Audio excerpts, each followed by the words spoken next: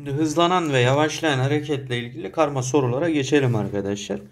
Diyor ki düz bir yolda hareket eden bir aracın hız zaman grafiği şekilde gibidir. Buna göre araç kaç kez yön değiştirmiş. Doğrusal bir yol olduğunu düşünün şu şekilde arkadaşlar.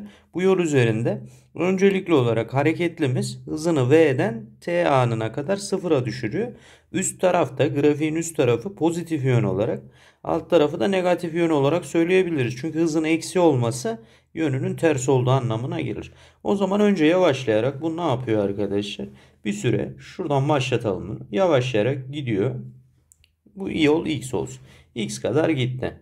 Tekrar ne yapıyor arkadaşlar? Bu alana da x diyelim. Yine aynı alan olduğu için çünkü şu şekilde. Tekrar negatif doğrultuda hızlanıyor değil mi? Bak aşağı doğru buna ne diyeceğiz arkadaşlar? Hızlan hareket diyeceğiz. V devam etse mesela eksi 2 V. Devam ediyor eksi 3 V mesela.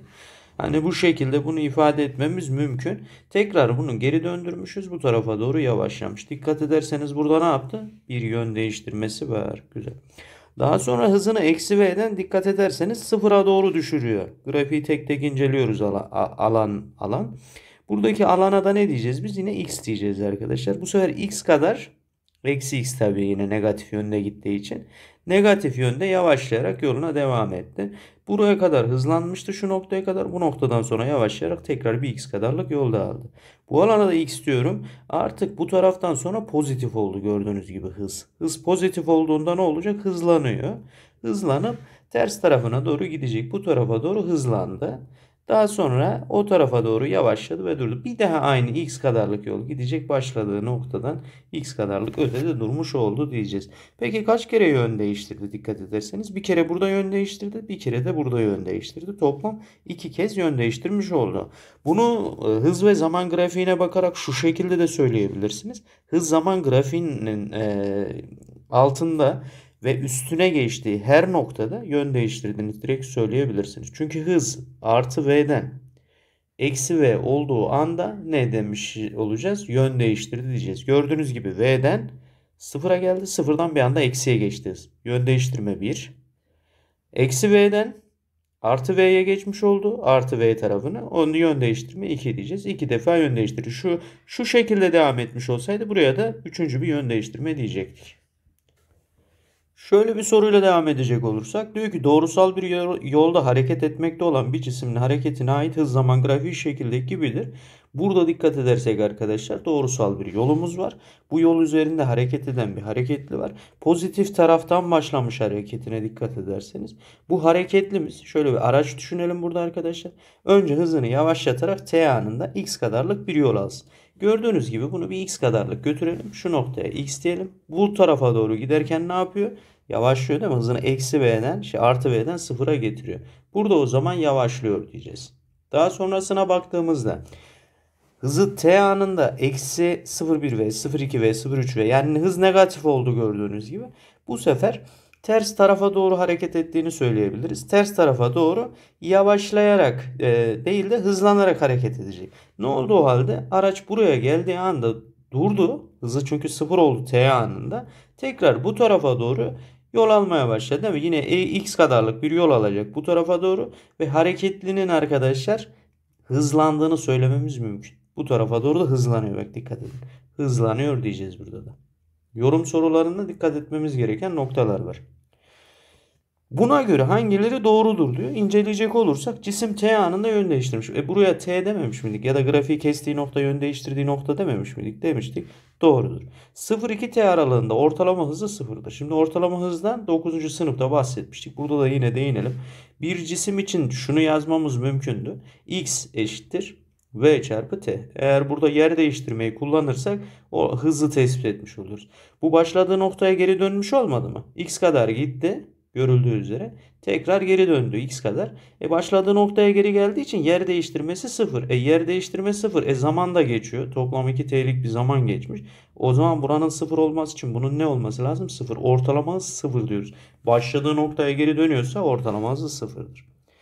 2t süre sonunda cisim t0 anındaki yerine gelmiştir. Zaten yer değiştirmeye sıfır demiştik. 2t süre sonunda da artık bu noktada olduğu için başladığı noktaya geri gelmiş diyeceğiz. Şöyle bir yorum sorumuz var. Doğrusal bir yolda hareket eden hareketlinin hız zaman grafiği şekildeki gibi diyor. Buna göre yargılarından hangileri doğrudur? Şimdi biz burada bakıyoruz arkadaşlar. Hareketlimizin aldığı yola x diyelim. Bu üçgenin alana da x diyelim. Burası da x, burası da x. Çünkü niye hepsi vt bölü 2 kadarlık. Bak bütün üçgenler aynı. Ondan dolayı aynı şeyi söyleyebiliriz. Şimdi bu eksi v hızından yavaşlayarak sıfıra getiriyor hızını değil mi? Hızı eksi v demek ne demek? Negatif tarafa doğru gidiyor demek. Şimdi doğrusal bir yol dediği için yine hemen getirip doğrusal bir yolunuzu çizin. Bundan sonra bakıyoruz. Hareketlimiz şu noktadan başlamış olsun varsayalım. Hareketli bu tarafa doğru geliyor değil mi? Bu tarafa doğru geldi. Ne kadarlık bir yol kat etti? Buraya eksi koyalım başına. X'in başına. Eksi X noktasına geldi değil mi? Daha sonra ne oldu? Hızını artı yaptık. Bak artık artı pozisyonuna geçti yukarıya. O zaman hız artı olacaksa ne diyeceksiniz gençler? Yön değiştirdi. Hemen yön değiştirip 2t anında x noktasına bunu geri götürüyorsun. Başladığı noktaya geri gelmiş oldu mu? Sıfır noktasına bak. x geri gitti. Burada x de ileri gitti. Bir geri bir ileri gitmiş gibi oldu. Daha sonra bu bunu yavaşlatıyorum arkadaşlar. Şu aralıkta yavaşlatıyorum. Dikkat edin. Şu anda 2t anındayız. Burada t anındayız. Onu, onu da yazalım da.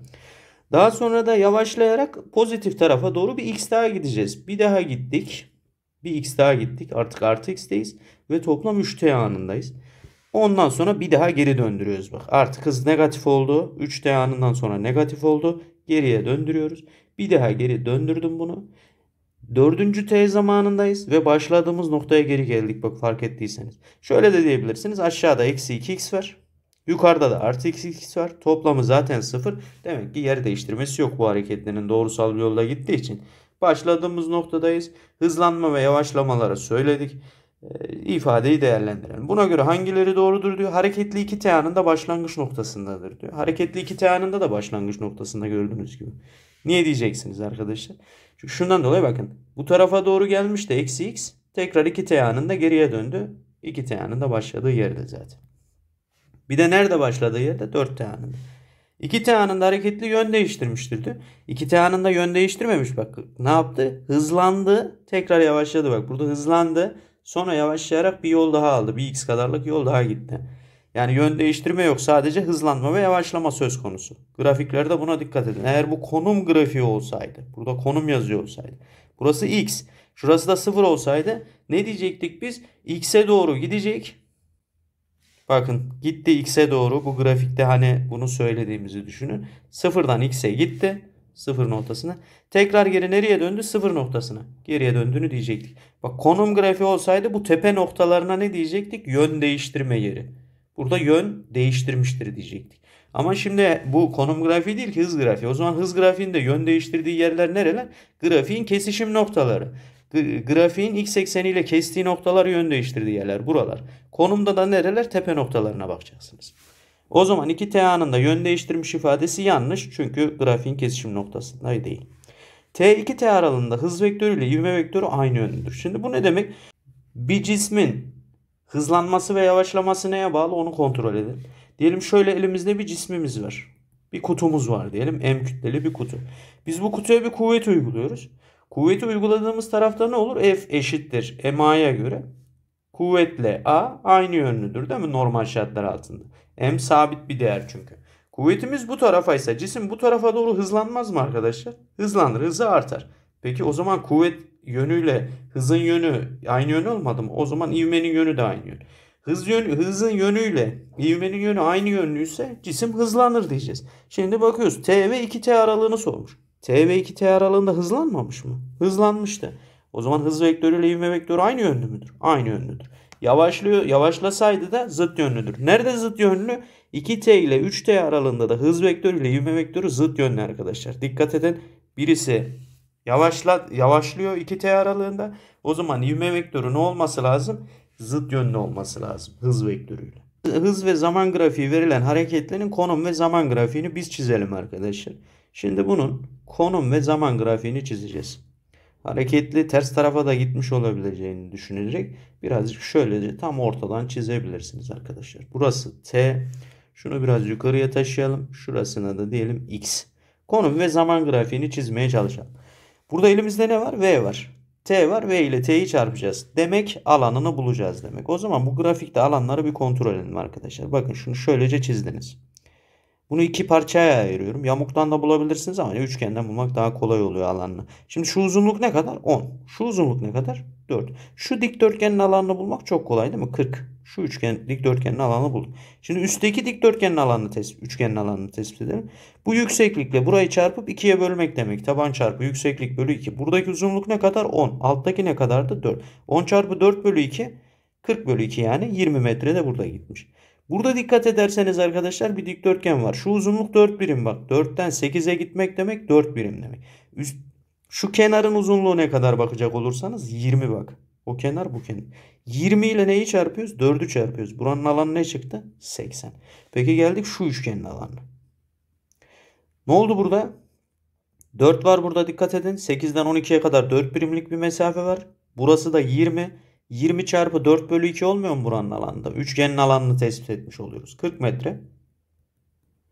Buraya bakıyoruz 12'den 16'ya. O zaman burası da 4 birim. Buna dikkat edin. Şu uzunluk ne kadar? Dik kenar. Burada 20. O zaman aynı üçgen olduğu için buraya da ne diyeceğiz? Eksi 40 metre diyeceğiz.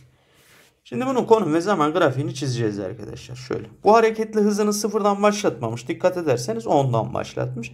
O yüzden orada daha fazla bir alan çıktı. Şimdi bizim zamanımız her iki grafikte de aynı yani. Burada da 4, 8, 12, 16 diye artacak. 4, 8, 12, 16. Bunu böyle çizersiniz. Peki. Birinci aralıkta biz ne kadarlık yol aldık gençler? Dikkat edin. 20 üstten aldık. 40 da alttan aldık. Toplam 4. saniyeye kadar 60 metre yol aldık. Grafiği nasıl çizeceğiz şimdi? Ona dikkat edin. Bak. Hemen şöyle aklınıza gelsin. Sabit hızlı hareket pozitif yönde. Sabit hızlı hareket negatif yönde. Aklımıza bunlar lütfen gelsin. Düzgün hızlanan hareket pozitif yönde. Düzgün hızlanan hareket negatif yönde. Hemen diğerini getiriyoruz. Düzgün yavaşlayan hareket pozitif yönde. Düzgün yavaşlayan hareket negatif yönde. Bak 3 tane grafiğimiz var. Sabit hızlı, hızlanan artı diyelim. Bu da yavaşlayan. Geldik. Birinci aralıkta cismimizin hızı nereden nereye gelmiş gençler? Dikkat edin 10'dan 20'ye. Hızlanmış mı? Hızlanmış. O zaman şu grafik aklımıza geliyor. Genç K. O halde çiziyorum. Kaçıncı metreye kadar çizeceğim bunu? 60. Şöylece çizdik. Bak genç K'nın üst kısmını çizdim. Çünkü pozitif yönde hızlanmış. Burası 60 oldu mu? Çok güzel.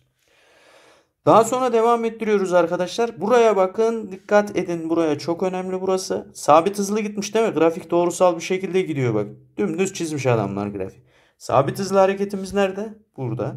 Sabit hızlı hareketin pozitif tarafı mı? Pozitif tarafı. O zaman bu tarafa doğru ne yapacağız? Artıracağız arkadaşlar. Kaç metre daha artıracağız? 80. 60'ın üstüne 80 koyduk. Kaç çıktı? 140. Bak doğrusal bir şekilde artırdım. Dikkat edin. Grafiğim önce böyle oldu. Sonra böyle doğrusal gitti. Çünkü sabit hızlı gitmiş. O zaman buraya getirip 140'ı koyduk. Devam. Sonra ne olmuş? Yavaşlamış değil mi? Bakın dikkat edin hız 20'den 0'a doğru geliyor. Yavaşlattığımız için hangi grafiğe bakacağız? Şu grafiğe. Yavaşlama grafiğimiz o taraftaysa e, pozitif yönde mi yavaşlamış negatif yönde mi? Üst taraf pozitif alt taraf negatif değil mi grafikte? Ve pozitif yönde yavaşlamış. O zaman bunun üstünü getirip buraya ekliyoruz. Yavaşlatıyorum yaşlı K yapıyorum. Yaşlı K'nın pozitifini koydum. Kaç metre daha koyacağım üstüne dikkat edin. Buranın alanı kadar. 40 daha koydum 140'ın üstüne. 180. Getirdik. Şimdi devam ediyoruz. Bu sefer negatif yönde bir geçiş var. Dikkat ederseniz eksi 40 metre var burada. Eksi 40 metre ne demek? Terse dönmüş demek değil mi? Zaten hız grafiği ne oldu? Bak kesti. Artık terse döndü. Gittiği yolun tersine gidiyor. Ne tarafa gidiyordu? Bu tarafa. Şimdi ne tarafa götüreceğiz? Bu tarafa. Kaç metre götüreceğiz o tarafa? 40 metre. Aşağı tarafı kontrol edin. Ne yapıyor? Hareketli hızlanıyor. O zaman hangi grafiğe bakıyoruz? Ortada grafik. Ne tarafta hızlanıyor? Aşağı tarafta hızlanıyor değil mi? Negatif tarafta hızlanana. Getiriyorum ucuna ekliyorum. Negatif tarafta hızlanana ucuna ekledim. Bakın grafiğim şöyle bir şey çıktı bak. Bu da hızlanan hareketimizin genç kası. Yaşlı gibi falan görünmesin. Bak dikkat edin buraya. Tekrar 40 metre geri getirdim aşağı. 16. saniyede e, tekrar artı 140 metreye geri dönmüş. Burada da grafikte geri döndüğü anlaşılıyor zaten. Grafimiz bu şekilde çıkıyor arkadaşlar. Şöyle daha düzenli ve güzel bir şekilde yazacak olursam. Hızlanan hareket genç K. Sabit hızlı hareket yavaşlayan hareket yaşlı K. Tekrar hızlanan hareket ama negatif yönde. Grafik budur arkadaşlar. Bu şekilde çizilir.